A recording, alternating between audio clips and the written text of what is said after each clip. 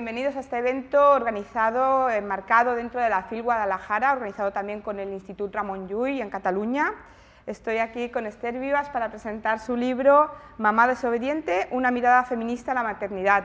Eh, Esther Vivas es activista, investigadora en movimientos sociales y políticas agrícolas y alimentarias, licenciada en periodismo y diplomada en estudios superiores de sociología por la Universidad Autónoma de Barcelona Además, es autora de diversos libros y publicaciones sobre anticapitalismo y consumo responsable. Eh, Mamá desobediente es un libro que repasa desde el embarazo hasta la lactancia, pasando por el parto, los derechos de las madres y las criaturas, pero no se conforma con esto. Además, repasa los orígenes de nuestra situación actual, analiza con datos y estudios las contradicciones de nuestro tiempo. Es una clara reivindicación de la necesidad de visibilización de protección y de cambios en todo lo relacionado con la maternidad, desde el principio de todo hasta el final. ¿no? Podríamos decir que es una de las cosas que más me ha sorprendido del libro, ¿no? que realmente eres capaz de coger y enmarcar eh, todo, lo, todo, lo, relacionado con la maternidad y, no teniendo solo en cuenta el punto de vista de la madre, sino también de la criatura, ¿no? que, que me parece muy importante. Bueno, la primera pregunta, y que yo creo que también entras tú con ella en el libro, porque eh, entiendo que quieres ser ya esas reivindicaciones, ¿podemos ser madres y feministas? Bueno, yo creo que no solo podemos, sino que es imprescindible en buena medida, porque creo que el feminismo es un salvavidas ante un modelo de maternidad patriarcal hegemónico que nos han impuesto, donde las mujeres a menudo no podemos decidir si queremos ser madres o no, y si decidimos ser madres se establece un ideal de buena madre que nos genera mucha culpa y mucho malestar con la experiencia materna, porque tenemos que ser la madre abnegada y sacrificada de toda la vida y al mismo tiempo hoy en día, bajo una lógica neoliberal y productivista, tenemos que ser una superwoman que llega a todo con un cuerpo perfecto. Entonces yo creo que el feminismo es ese horizonte que nos permite reivindicar nuestro derecho a decidir sobre la experiencia materna y donde más allá de estas imposiciones, lo que debe de prevaler es que yo decido sobre mi embarazo, mi parto, mi lactancia, porque además la maternidad viene a menudo atravesada por mucha violencia y discriminación. Violencia y discriminación que es invisible y es ante esta realidad que el feminismo, creo, se erige como un salvavidas para las mujeres que somos madres. Claro, hablas varias veces ¿no? de esa forma que tenemos de someternos ¿no? a la voluntad de los médicos cuando entramos en el hospital, que prácticamente bueno, tienes esa sensación de infantilización absoluta, de obedecer todas las órdenes que te dan sin pensar si estás de acuerdo o no y si, y si a lo mejor tú querías otra cosa y ni siquiera lo puedes exponer, ¿no? Total, totalmente, totalmente, porque es como que desde que nos quedamos embarazadas se nos infantiliza como mujeres madres y es como de repente dejas de ser un sujeto de derechos y te conviertes en un objeto pasivo. Y durante el embarazo, como tu bienestar está vinculado al hecho de que ese bebé eh, nazca en buenas condiciones, es decir, hay una lógica productivista y mm. mercantil a menudo sobre ese embarazo y no se tiene en cuenta nuestras necesidades, nuestro deseo, nuestros derechos. Y esto no solo sucede en el embarazo, sino después en el parto, como tú bien comentas, donde se nos impone a menudo un modelo de parto hiperintervenido y medicalizado donde no se reconoce nuestro derecho a decidir sobre este proceso y a posteriori en el posparto, en la crianza, es como que todo el mundo sabe más de nuestro bebé que nosotras que somos la madre y todo el mundo se considera con derecho a darnos lecciones. Y es aquí donde nosotras mismas asumimos este rol de objeto pasivo y nos genera esto mucho malestar con la experiencia materna. Y es aquí donde yo creo que tenemos que reivindicar como yo decido yo mm, decido en, este proceso de maternidad y no se me puede infantilizar, yo tengo derechos. Y creo que esto es importante recordárnoslo como, mujeres que tenemos hijas e hijos. Sí, sí, es, muy importante porque es un libro que te empodera mucho. Eh, toda la lectura, eh, yo iba diciendo, ojalá lo hubiera leído hace 10 años, ¿no? porque eh, todas las, si quieres, toda esa desobediencia que pude ejercer, que ya ahora pienso, me hubiera gustado ejercer muchísima más desobediencia, eh, fue pues eso, ¿no? En soledad, ¿no? Y, mucho contra, contra el sistema, ¿no? como el sistema te está diciendo que esto se tiene que hacer de esta manera, eh, las personas, los profesionales te están diciendo que es total, pero tu instinto, alguna cosa dentro de ti o alguna cosa que has podido leer porque te has informado, te está diciendo otra cosa, ¿no? Y es, es realmente un choque frontal contra, contra una pared y, y, tienes que atravesarla, ¿no? Esas dificultades tú las explicas muy bien en el libro, hablas, tienes ese concepto que, que para mí define muy bien eh, el asunto que es la violencia obstétrica, si nos centramos eh, sobre todo en la parte del parto, pero luego ya hablaremos del resto. Eh, explica un poco sobre el tema de la violencia obstétrica, me parece un concepto muy interesante. sí, bueno, en primer lugar decir que, claro, cuando hablamos de la maternidad, eh, pensamos como que la maternidad es una experiencia neutral, mm. pero en realidad es una construcción social y cultural de un sistema capitalista y patriarcal donde nos, nos impide decidir como mujeres sobre nuestra experiencia, seamos madres o no seamos madres, y al mismo tiempo nuestra vida, nuestra cotidianidad viene marcada por una lógica productivista y mercantil. Y esto determina la idea que tenemos de maternidad Em, y determina también nuestra experiencia materna. Entonces, ser madre ya de por sí es difícil, ser madre, ser padre, tener a cargo una criatura, porque de repente tienes a una persona dependiente de mm. ti, a tu mm. cargo, pero esta dificultad de lo que implica cuidar de una persona dependiente se ve agudizada por un sistema que es hostil a la experiencia materna, por un sistema que supedita el cuidado, la crianza a lo productivo y al mercado, por un sistema donde no se nos permite decir como mujeres. Entonces creo que es interesante de construir este imaginario social, cultural acerca de la maternidad y ante esta realidad reivindicar lo que es la experiencia materna con sus luces, con sus sombras, con nuestro derecho a decidir, con poner en el centro las necesidades de la criatura, mm. con poner en el centro la necesidad de este cuidado, esta maternidad debe ser entendida como algo colectivo, no como algo a cargo de la mujer, etc. Esto para enmarcar un poco lo que, tú comentabas. Y nos convertimos en madres y pensamos, vale, somos madres, pero no somos madres en esta sociedad con estas imposiciones sociales y culturales que determina esta experiencia, pero en negativo.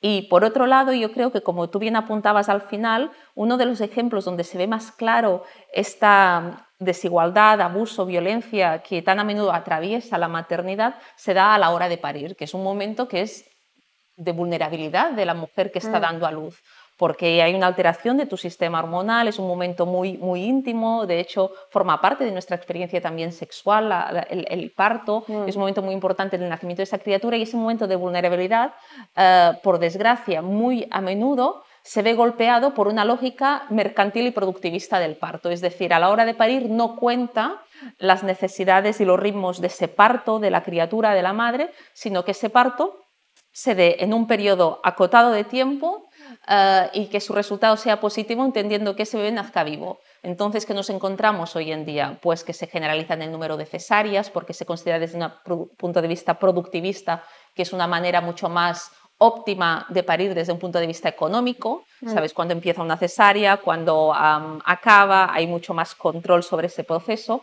pero esto tiene consecuencias negativas para la madre y el bebé. Una cesárea tiene más riesgo de, muerte materna para una mamá, por ejemplo, y esto se desconoce. ¿no?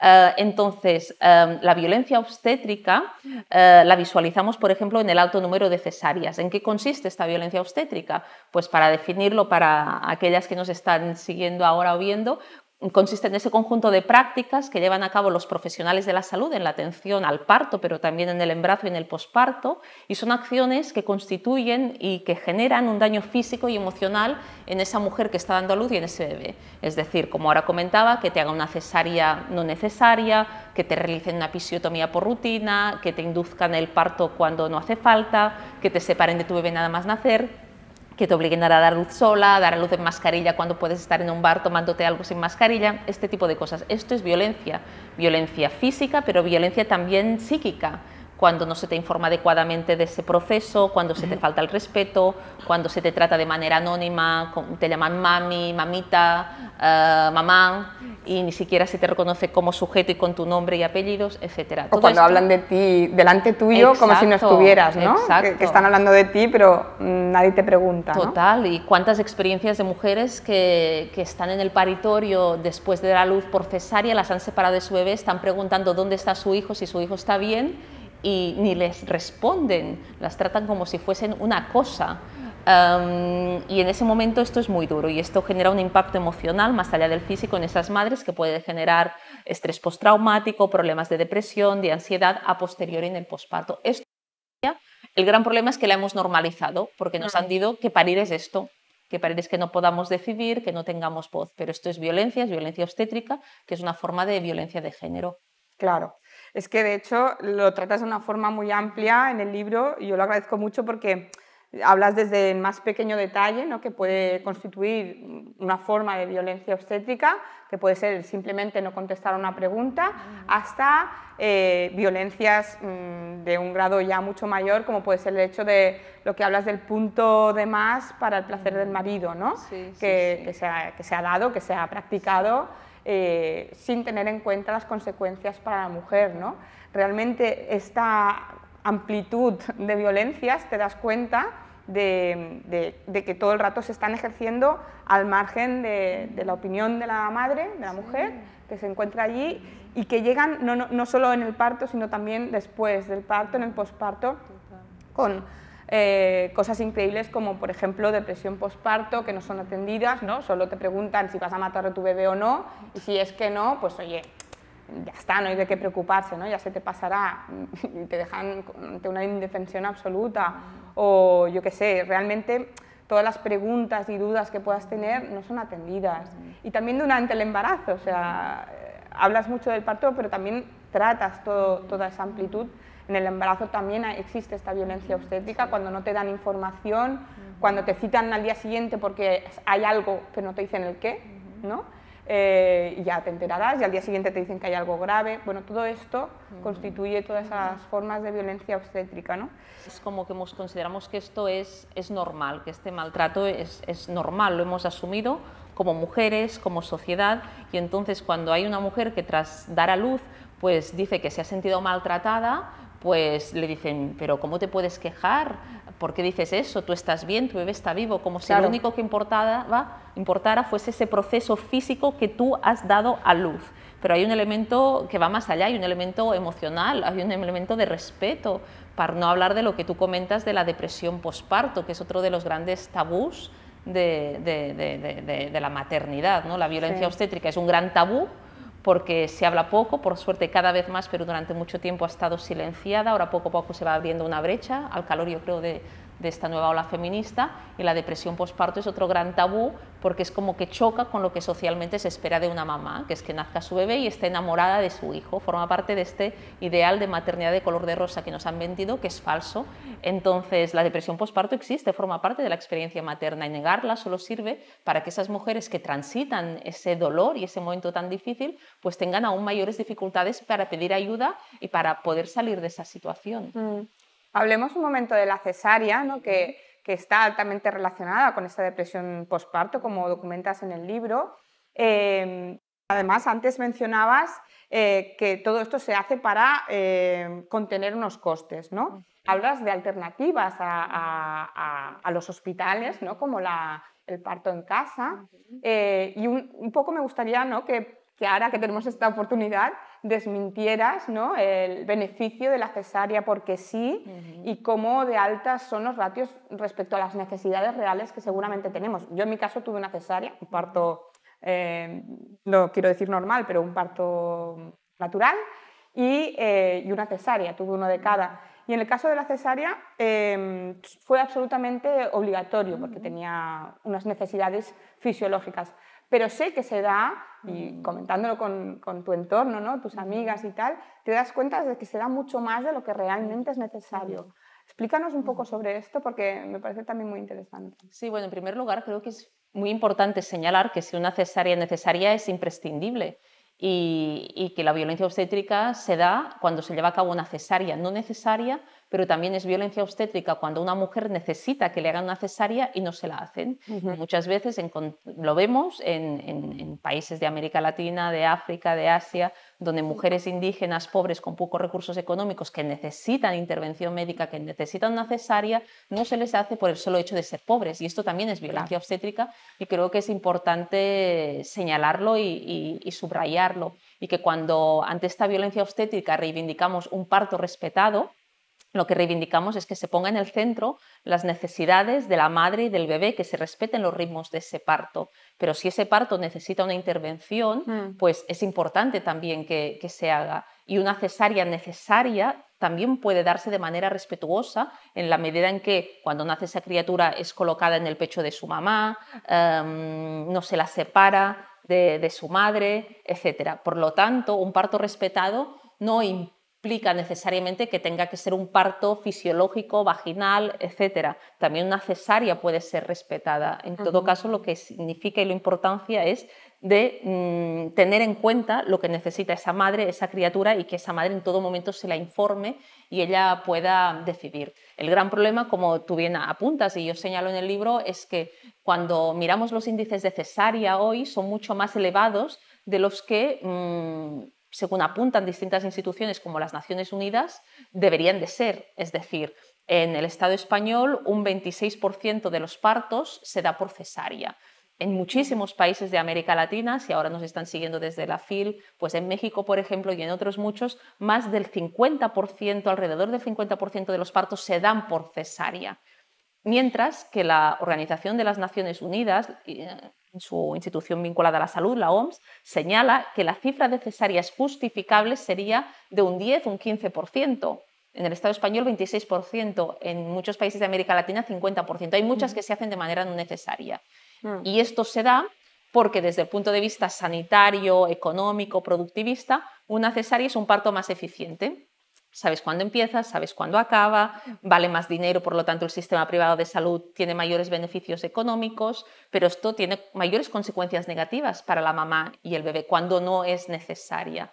Entonces, eh, lo que esto pone encima de la mesa es que a la hora de parir eh, se anteponen intereses económicos y empresariales que a las necesidades de, de la madre y del bebé, porque Añadir también que cada vez más, como señalan distintos informes, las mujeres parimos de lunes a viernes y en horario laboral. Es otro ejemplo que lo que señala es que no se tienen en cuenta los ritmos y las necesidades fisiológicas de lo que significa un parto. Y la cesárea es un elemento de esta violencia obstétrica, de esta supeditación del parto a lo mercantil.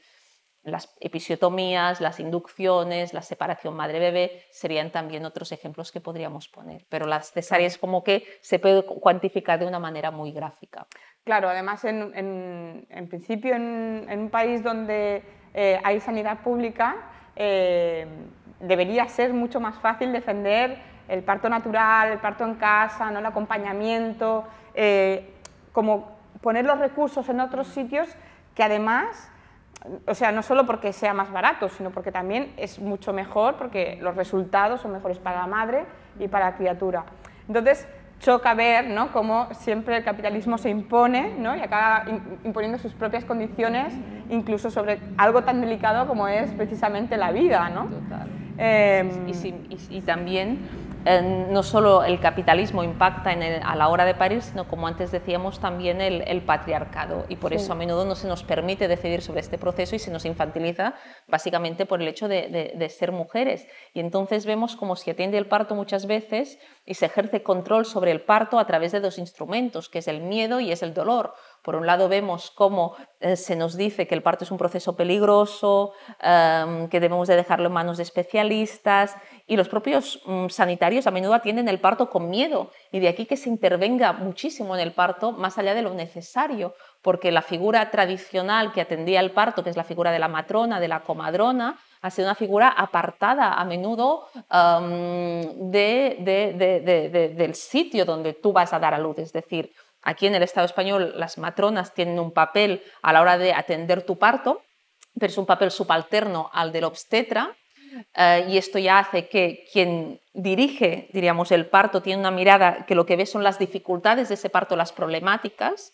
Por lo tanto, si atendieran los partos las matronas, seguramente habría un índice de atención al parto mucho más, desde mi punto de vista, respetuoso. Pero es que en muchos países de América Latina es que ni existe la figura de la matrona en el sistema de salud privado o público. Y que tienes que ir a contratar a una matrona si es que tú quieres que en tu parto haya una matrona. Y por lo tanto, esta idea de, supeditación del trabajo de la mujer, ya sea la parturienta, la matrona, incide también a la hora de, dar a luz y no respetarse este proceso.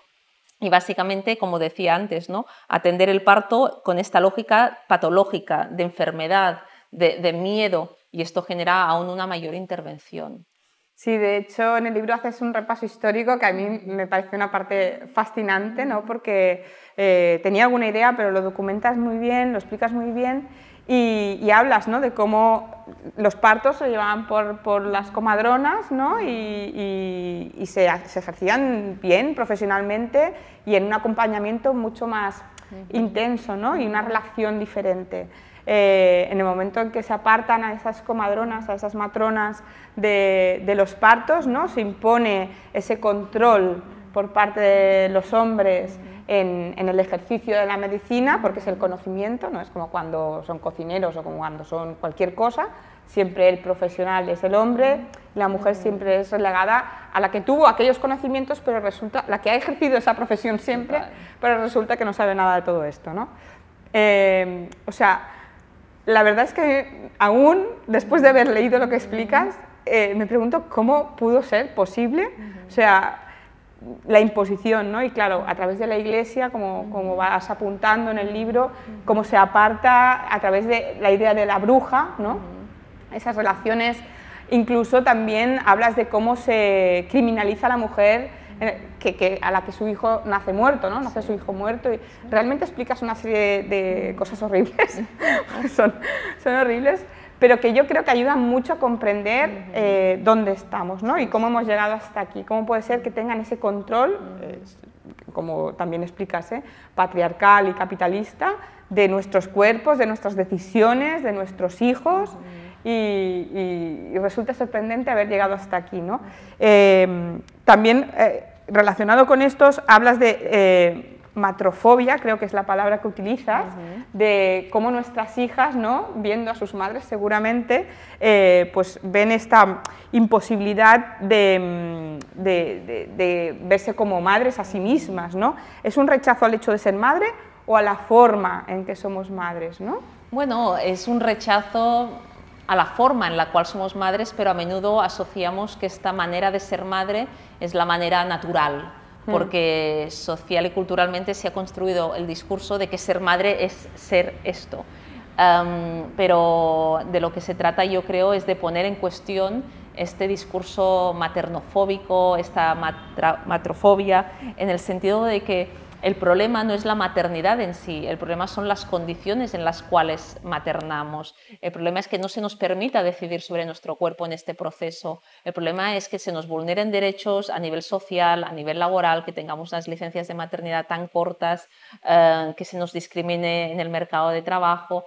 Entonces, esto es lo que nos puede llevar a odiar ser madres. No es que odies a tus hijos, odias las condiciones en las cuales tú maternas. Y creo que es aquí donde tenemos que reivindicar esa maternidad feminista, esta maternidad insumisa, rebelde, desobediente, como la queramos llamar, en el sentido de que tenemos que disputar el relato de la maternidad con el patriarcado y con el capitalismo y reivindicarnos como sujetos políticos, como madres, como sujetos de, de derechos y es aquí donde el feminismo también tiene que abrazar la maternidad.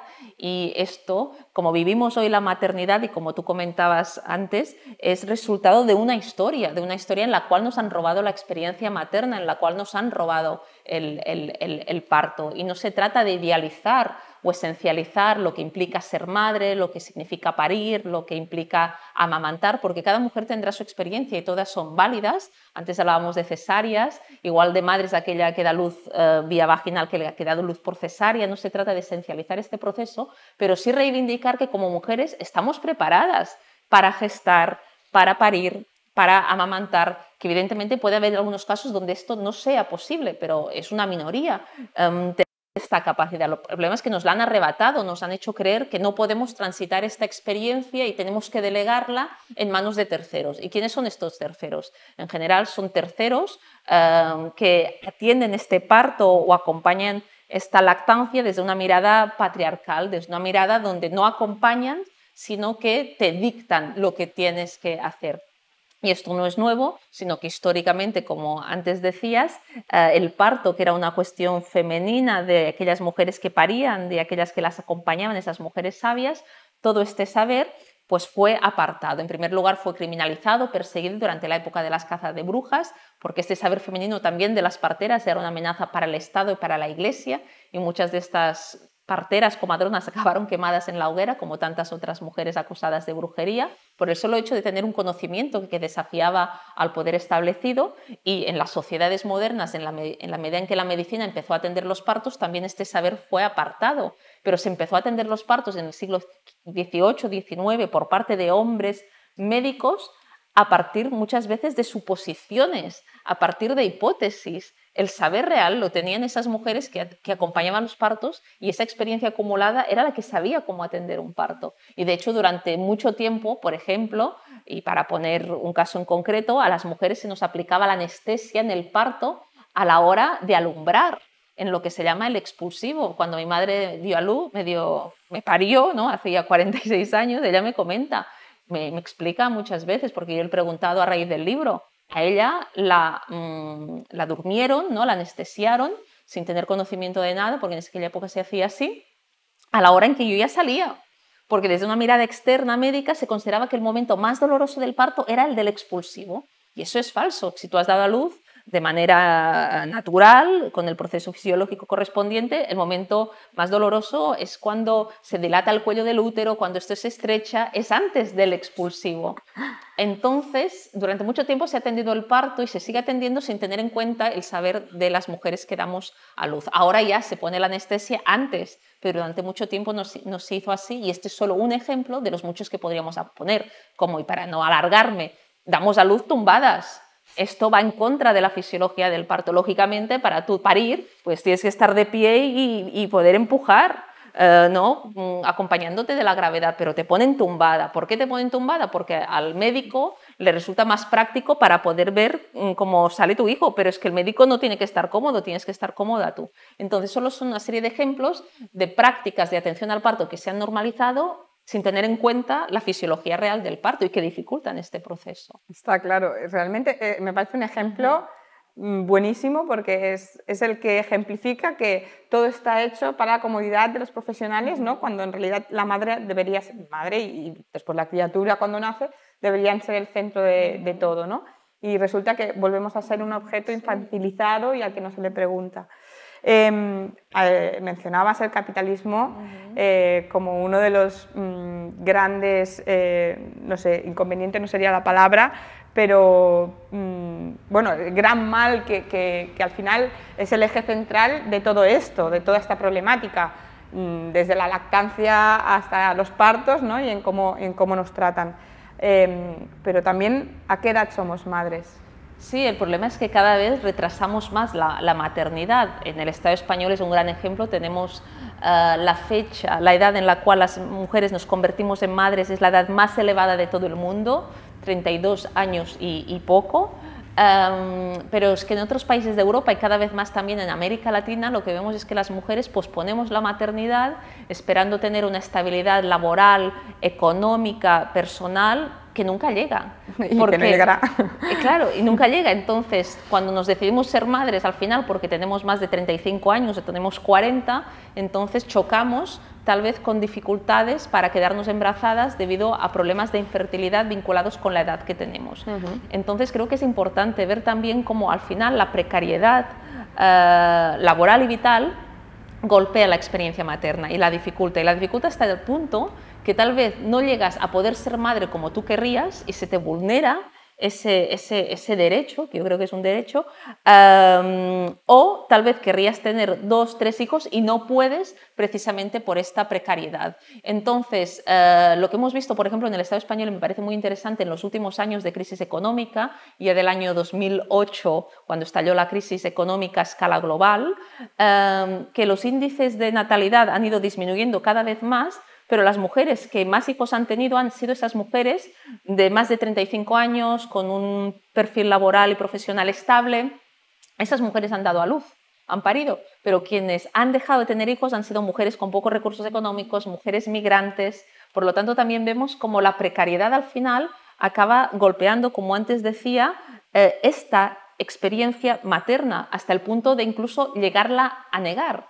Por eso yo creo que es muy importante también reivindicar el derecho a ser madre, pero el derecho a ser madre entendiendo el derecho a que tú puedas tener criaturas si así lo deseas, sin vulnerar evidentemente los derechos de terceros, porque tal vez luego podemos hablar a menudo desde aquellos que defienden la gestación subrogada, con la cual yo soy muy muy crítica, utilizan el argumento de yo tengo el derecho a ser madre o padre para eh, subrogar un, un, un embarazo. Pero este derecho que ellos dicen vulnera los derechos de la madre gestante y del bebé. Por lo tanto, no se puede utilizar el argumento del derecho a ser madre o padre a, partir de una práctica que vulnera los derechos de terceros. Esto por un lado. Pero al margen de esto que hay que criticar, el derecho a ser madre yo creo que se tiene que reivindicar porque si no se convierte en un privilegio, en el sentido de que qué mujer hoy en día se puede, mm, puede ser madre aquí en Cataluña, en el Estado español, pues esas mujeres que tienen un determinado poder adquisitivo y económico. Si eres pobre, tal vez no te lo puedes permitir y entonces no eres madre. ¿no? O lo mismo vemos también el derecho a ser madre, si lo miramos en la lógica de muchos países de América Latina vinculado a poblaciones indígenas con pocos recursos económicos, a cuántas mujeres se les han, se les han aplicado técnicas em, a partir de las cuales se les ha impedido que puedan tener criaturas por el solo hecho de ser mujeres pobres mujeres indígenas, pues que mm, van al hospital y dicen, ya tienes tres hijos, pues te vamos a hacer una ligadura de trompas. Aquí se está también vulnerando el derecho de esa mujer a ser madre por el solo hecho de ser pobre. Hay muchísimos casos eh, y experiencias en este sentido también en países de América Latina, en países de África o, de Asia. Y creo que es fundamental señalarlo. Al final la maternidad no puede ser un privilegio, el parto respetado no puede ser un privilegio, la lactancia materna no puede ser un privilegio. Y creo que hay que mirar también pues, eh, la experiencia materna desde este punto de vista de los derechos, ¿no? de los derechos de las madres, de las criaturas y en definitiva de las mujeres a poder elegir si queremos ser madres o si no lo queremos ser, pero que tengamos la oportunidad de tener acceso al aborto y de tener acceso a tener criaturas si así lo deseas, claro. sin vulnerar los derechos de terceros como antes decía. Por supuesto. Eh, todo esto además está muy relacionado con la culpa. La culpa y la maternidad van todo el rato de la mano, ¿no? Decías al principio de todo que no, no o sea, tenemos que ser super mamás, ¿no? Superwomans, eh, que realmente lo hagan todo perfecto, que sepan lo que hacer, eh, pero además obedeciendo las órdenes y directrices del sistema, ¿no? Si te sales del sistema ya eres mala madre, tú te sientes culpable, ¿no? Porque ya estás desobedeciendo.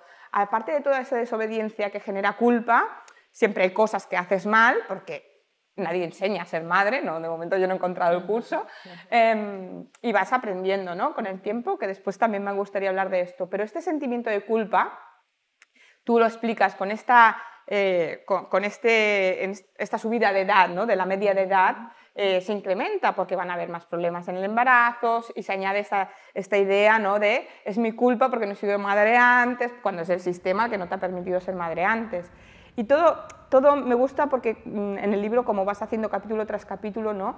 Eh, cómo el capitalismo es capaz de generar todo eso y hacer que tú te sientas culpable por, por, todo eso, porque no puedo amamantar, porque no puedo, ¿no? Porque no puedo tener el parto que yo quiero, porque no puedo ser madre cuando yo quiero.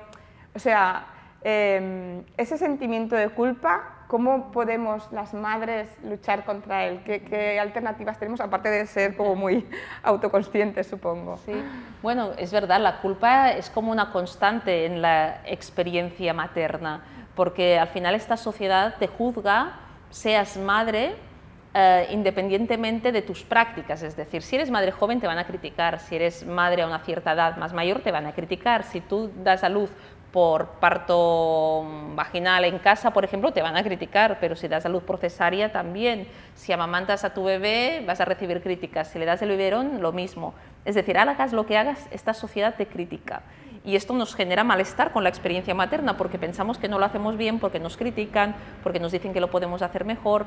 Y al mismo tiempo esta culpa no solo viene eh, y es fruto de, de esta crítica del entorno, sino que al mismo tiempo también nosotras nos miramos en un espejo de la maternidad que no nos representa, donde tenemos que ser madres sacrificadas, abnegadas, pero al mismo tiempo superwoman y nunca llegamos a alcanzar ese ideal de buena madre. Entonces yo creo que es muy importante ser conscientes que la maternidad o como miramos a la maternidad es resultado de una construcción social y cultural que no tiene en cuenta la experiencia real de las mujeres madres y que por lo tanto hay que poner en cuestión esta maternidad de color de rosa, esa maternidad que nos venden los medios de comunicación hegemónicos, ese mm. discurso de la maternidad perfecta, bonita, feliz. Esto es una gran mentira, es una farsa, que es la que nos genera culpa porque, claro, me miro un espejo de la maternidad que no no representa. Entonces hay que poner en cuestión este espejo, hay que poner en cuestión este relato, hay que poner en cuestión lo que dicen los demás sobre esta experiencia materna y colocar en el centro lo que es la maternidad de verdad. Y la maternidad son luces, pero son muchas sombras.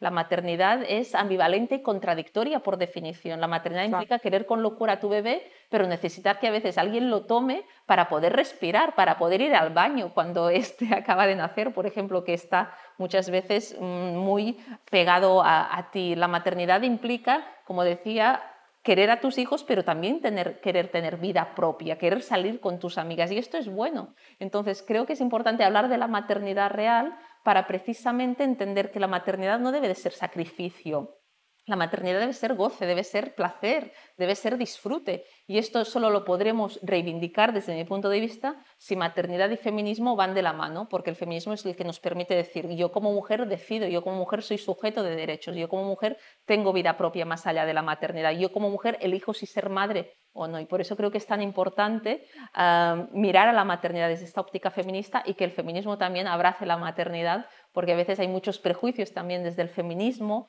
ah, en cómo se mira la maternidad por el hecho de históricamente haber sido resultado de, un mandato patriarcal. Bueno, el feminismo de los 70 iba mucho en esa línea, ¿no? que, no podías ser madre si eras madre, no eras feminista, prácticamente había esa relación de ideas.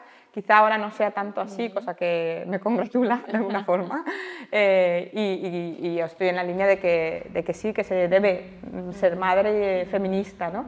Y ser madre feminista eh, también ha comportado toda esa sororidad y esa red, ¿no? ese compartir más con otras mujeres, que yo creo que ha sido una de las grandes experiencias positivas y que te ayuda un poco a, disfrutar más de la maternidad, ¿no? a poder eh, en ese compartir ver que haces cosas mal, que haces, puedes hacer cosas mejor, pero que evidentemente, pues eso, salir un día seguramente hará que cuando vuelvas a casa todo fluya mejor, que tú tengas más ideas, que tengas más, ¿no? Y que puedas dar lo mejor de ti misma porque tú estás con todo tu potencial, ¿no? Realmente me parece, me parece muy importante, pero también apuntas en el libro eh, que hay muchos elementos que impiden que esa maternidad se dé en las mejores condiciones posibles, ¿no? Y volvemos otra vez al capitalismo, que es la que ejecuta esas dificultades, ¿no?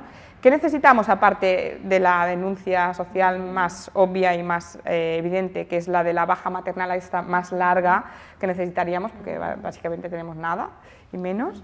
¿Qué necesitamos aparte de esta baja maternal más largas? Hay diferencias salariales, brecha de género, hay raciales, hay de clase, todas las apuntas también. Em, ¿Es eso? ¿Nos permiten ser madres como necesitamos ser madres? Sí, yo creo que es fundamental mirar a la, entender que la maternidad no solo viene atravesada por desigualdades de género, y de aquí pues que nos discriminen el trabajo por ser madres o suframos violencia obstétrica o se nos infantilice desde que nos quedamos embarazadas, sino que al mismo tiempo también la maternidad viene atravesada por desigualdades de clase social y de raza mm. y por lo tanto no vive la maternidad de la misma manera una mujer blanca de clase media o clase media alta que una mujer con pocos recursos económicos o una mujer migrante. Es decir, la preocupación es de una mujer blanca de clase media será cómo tal vez encajo mi experiencia materna con mi empleo, y las necesidades de una mujer con pocos recursos económicos era cómo llego a final de mes, cómo garantizo un plato de comida para mis hijos, cómo les garantizo un techo. Por lo tanto, es muy distinta la maternidad. Y a mm. menudo también cuando a nivel social y a nivel de los movimientos sociales miramos a la maternidad, solo miramos a una maternidad de mujeres blancas de clase media. Entonces hay que entender que la maternidad es muy plural, es muy diversa y sobre todo viene atravesadas por estas desigualdades de clase y de raza que hacen que la violencia y las discriminaciones en la maternidad se ejerzan en mayor medida con estas mujeres con pocos recursos económicos, mujeres migrantes, mujeres indígenas. Y las cifras de violencia obstétrica así lo muestran. Las mujeres pobres las mujeres racializadas sufren más violencia obstétrica y esto lo apuntan distintos informes. Y creo que es muy importante reivindicarlo porque entonces cuando defendemos el derecho a un parto respetado y que no se violente tu parto o defendemos el derecho a apoyar a que tú puedas amamantar a tu criatura si así lo deseas, este debe ser un derecho para todas las mujeres al margen de su clase social y su raza. Porque, por ejemplo, aquí en Cataluña, ¿Qué mujer puede permitirse amamantar a, su criatura hasta los seis meses mm, en exclusiva, como indican o apuntan y recomiendan todas las instancias de salud? Si la licencia de maternidad es de cuatro meses, ¿cómo tú amamantas en exclusiva hasta los seis? Pues seguramente solo lo pueden hacer o tienen mayores facilidades esas mujeres que pueden tomarse una excedencia de su empleo asumida por su cuenta, no remunerada y que tienen un cierto poder adquisitivo. Si tú eres una mujer con pocos recursos económicos, a las 16 semanas tienes que volver al trabajo porque si no tal vez te van a echar y no mm. puedes, por lo tanto, amamantar a tu bebé si así tú lo deseas en exclusiva. Por lo tanto, reivindicar los derechos de las madres implica reivindicar que todas las mujeres tengamos las mismas oportunidades a la hora de criar a nuestras criaturas. Que luego tú puedes decidir no amamantar a tu bebé y fantástico, mm. porque tú, por distintos motivos, consideras que va a ser una mejor opción dar el biberón. Pero tú debes de poder tener el derecho a amamantar si tú quieres. Tú debes de poder tener derecho a un parto vaginal si tú quieres y que no sea intervenido. Es decir, el derecho, el Estado lo debería garantizar para que todas las mujeres podamos tener este, estas mismas oportunidades a la hora de transitar este, esta experiencia. Eh, yo realmente creo que es un libro maravilloso. Eh, hemos tratado mm, pocos temas de todos los que llegas a tocar. Realmente eh, es un libro muy necesario. Yo ya te digo que hace 10 años me hubiera gustado tenerlo para poder seguramente sentirme más empoderada y con más poder de decisión y, y más eh, bueno, eso, más capacidad ¿no? para decir lo que quiero y lo que necesito y, tomar decisiones al margen de lo que el sistema impone. ¿no? Eh, tú hablas de muchísimas cosas que mencionaré por encima porque se nos empieza ya a acabar el tiempo. Hablas de adultismo, hablas del síndrome de la abuela esclava, hablas y mencionas, yo creo que con mucho, bueno, de una forma muy interesante, el tema de la infertilidad como otra forma también de culpa eh, inducida siempre hacia la mujer, la infertilidad es una enfermedad social, dices, no, dices, y la infertilidad masculina, hablas de la carga mental, que es una de esas cosas que, bueno, eh, hasta hace poco yo no le sabía ni poner nombre y dije, ah, es esto, ¿no? Es una de esas cosas que hago yo, pero él no está haciendo. ¿Por qué, no? Bueno, hablas de maternidad en adopción, monomaternalidad, defiendes derechos para todos estos tipos de, eh, formas de ser madre eh, diferentes, hablas de madrastras, muy importante el tema de la gestación subrogada que has podido mencionar antes, aunque sea brevemente, porque realmente es muy necesario hacer más reflexiones sobre, sobre este tema. Pero bueno, es que mm, no me lo acabo el guion porque es que podríamos hablar horas y horas. O sea, quizá lo que te diría es eh, si quieres hacer un, estado de la cuestión del, momento actual, donde estamos, hacia dónde, desde dónde venimos ¿no? y hacia dónde crees que vamos y si crees que hay un movimiento, alguna posibilidad de cambio hacia el futuro. Bueno, yo primero lo que diría es que el libro trata todos estos temas. Es un libro que yo escribí durante los tres primeros años de vida de mi hijo, porque lo empecé a escribir cuando él nació, hasta que tuvo tres años. Y entonces en el libro yo también planteo respuestas a preguntas que yo me formulé y por eso el libro se centra mucho no solo en la maternidad desde una perspectiva feminista, sino todo lo que implica el parto, la lactancia, porque es ese proceso vital que yo transité mientras escribía el libro. Y la obra, más allá de tener reflexiones políticas, em, desde una mirada sociológica, pero escritas en clave periodística, con referencias históricas. También incluye muchos elementos de mi experiencia personal y por eso en el libro cuando hablo de infertilidad lo hablo en primera persona, debido a que yo tengo problemas de infertilidad y mi pareja y tuvimos muchas dificultades para llegar a tener a nuestro hijo. Hablo de otros elementos también muy invisibles, como el dolor tras una pérdida gestacional, a partir también de mi propia experiencia personal y también hay testimonios de muchas otras mujeres. Y yo creo que esto es lo que permite que el libro conecte con el sentir de muchas mujeres madres. Y no solo con el sentir de muchas mujeres madres aquí en Cataluña, ¿no? donde yo he escrito el libro, sino también ha conectado el libro con muchas mujeres de otros países de América Latina, porque el libro, bueno, mm, lleva 10 ediciones en varios países de América Latina, cosa que me hace muy feliz y lo señalo porque estamos en la, en la FIL. Eh, y, a pesar de la diferencia de contexto en relación a quién lo ha escrito y quién lo lee en muchos países de América Latina, al final el patriarcado y el capitalismo no perdona. Vivas en Cataluña, vivas en México, vivas en Argentina o en Chile.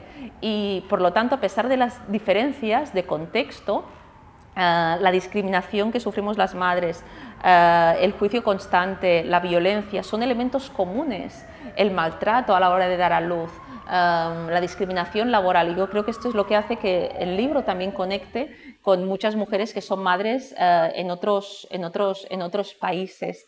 Y al mismo tiempo también, como tú ahora comentabas ya al final, en el libro también planteo la, la la gran mentira de este sistema en relación a la maternidad, es decir, la hipocresía, porque este sistema eh, esencializa la maternidad o la infancia, es el día de la madre y todo el mundo te tiene que felicitar, hmm. pero luego se olvida de ti los otros días del año. Hmm. Y, se olvida de ti, te vulneran derechos y no se te reconoce tu vida propia, etc. Y es como esta dicotomía de idealizar la maternidad de color de rosa, pero no reconocer los derechos de las madres.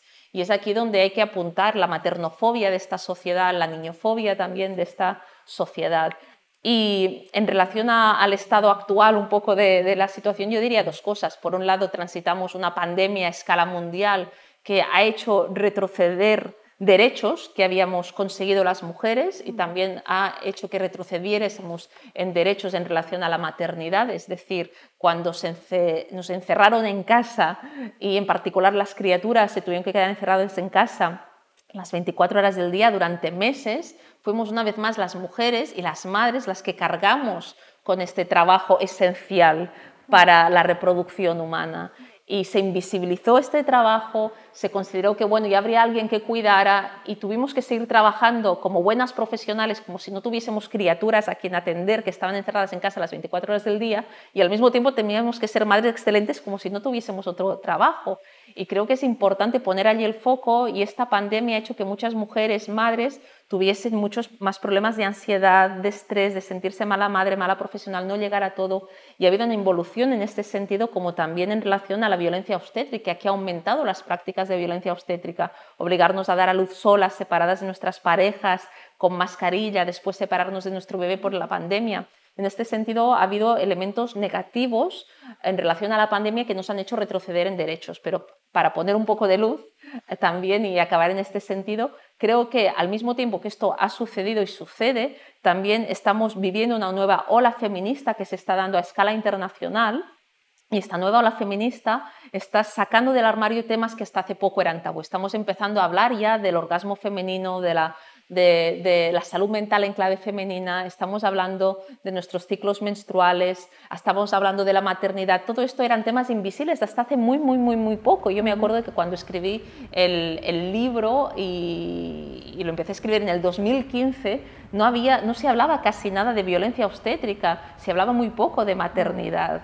Y cada vez se está hablando más, yo creo, gracias a esta nueva generación de mujeres, muchas mujeres jóvenes que están hablando sin tapujos de temas que eran silenciados. Y creo que en este sentido se está hablando mucho más de la maternidad cada vez. Muchas mujeres no madres, mujeres jóvenes, conectan con esta idea de reivindicar la maternidad en clave feminista y de vincular el derecho al aborto con, el, con, con la maternidad. Es decir, el derecho al aborto es la premisa imprescindible para yo poder ser madre, pero ser madre también es importante si yo lo deseo y tener derechos en la maternidad. Por lo tanto, yo creo que estamos viviendo una nueva ola feminista que está empujando fuerte en esta dirección de reivindicar la maternidad como una tarea colectiva, como una tarea no solo de mujeres, sino también de hombres, de la sociedad en general, y de reivindicar una serie de derechos en la experiencia materna que deben de ser garantizados y esto yo creo que es muy positivo. Bueno, me gusta que acabes con esa luz porque, porque realmente, bueno, también opino como tú y creo que realmente el camino que viene por delante es, es ilusionante. Bueno, me hace ilusión pensar que sí que es posible el cambio y que, y que realmente, bueno, estamos ahí, estamos en ello, ¿no? Al menos ahora podemos hablar más de ello. Tenemos un libro que es una herramienta maravillosa para los lectores, para las lectoras, también para los lectores, muy necesario, para que sepan qué tipo de violencias nos tenemos que enfrentar y puedan acompañar mejor a sus parejas. ¿no? Em, yo quiero recomendar mucho la lectura, mucho por la teoría, pero también por esta experiencia personal que tú le pones y que ayuda mucho a acompañar ese relato. También las experiencias que pones de, personas que las han compartido en redes o, contigo. Me imagino que te debes de encontrar continuamente con personas que te explican su propia experiencia, yo te he explicado la mía, ¿no? Em, y, me imagino que debe ser un poco abrumador, ¿no? Toda, toda esa experiencia que te viene, pero que a la vez debes pensar que estás construyendo algo bonito.